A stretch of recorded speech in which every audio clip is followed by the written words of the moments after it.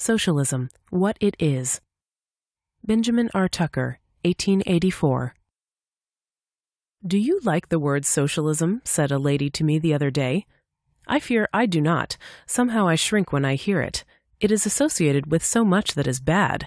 Ought we to keep it? The lady who asked this question is an earnest anarchist, a firm friend of liberty, and it is almost superfluous to add, highly intelligent.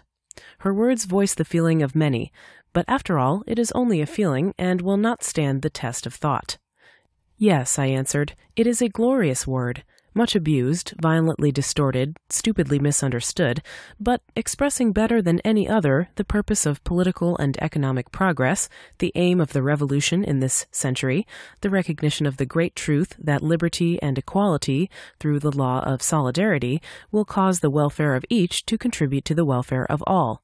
So good a word cannot be spared, must not be sacrificed, shall not be stolen. How can it be saved? Only by lifting it out of the confusion which obscures it, so that all may see it clearly and definitely, and what it fundamentally means. Some writers make socialism inclusive of all efforts to ameliorate social conditions. Proudhon is reputed to have said something of the kind. However that may be, the definition seems too broad. Etymologically, it is not unwarrantable, but derivatively, the word has a more technical and definite meaning. Today, pardon the paradox, society is fundamentally antisocial. The whole so called social fabric rests on privilege and power, and is disordered and strained in every direction by the inequalities that necessarily result therefrom the welfare of each, instead of contributing to that of all, as it naturally should and would, almost invariably detracts from that of all. Wealth is made by legal privilege a hook with which to filch from labor's pockets. Every man who gets rich thereby makes his neighbor poor. The better off one is, the worse off the rest are. As Ruskin says, every grain of calculated increment to the rich is balanced by its mathematical equivalent of decrement to the poor. The laborer's deficit is precisely equal to the capitalist's efficit. Now, socialism wants to change all this.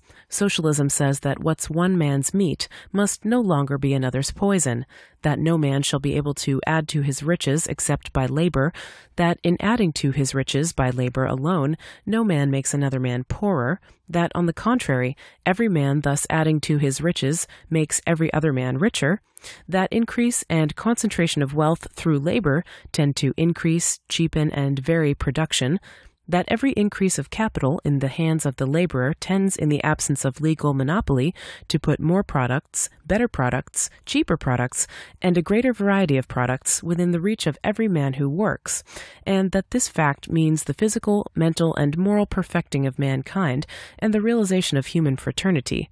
Is that not glorious? Shall a word that means all that be cast aside simply because some have tried to wet it with authority? By no means. The man who subscribes to that, whatever he may think of himself, whatever he may call himself, however bitterly he may attack the thing which he mistakes for socialism, is himself a socialist, and the man who subscribes to its opposite and acts upon its opposite, however benevolent he may be, however pious he may be, whatever his station in society, whatever his standing in the church, whatever his position in the state, is not a socialist, but a thief. For there are at bottom but two classes, the socialists and the thieves. Socialism, practically, is war upon usury in all its forms, the great anti theft movement of the 19th century. And socialists are the only people to whom preachers of morality have no right or occasion to cite the eighth commandment, Thou shalt not steal. That commitment is socialism's flag, not only as a commandment, but as a law of nature. Socialism does not order, it prophesies. It does not say, Thou shalt not steal. It says, When all men have liberty, thou wilt not steal. Why, then, does my lady questioner shrink when she hears the word socialism?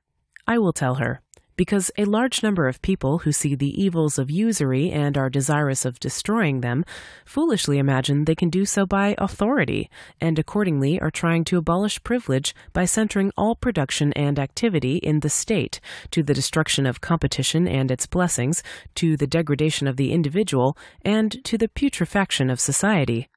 They are well meaning but misguided people, and their efforts are bound to prove abortive.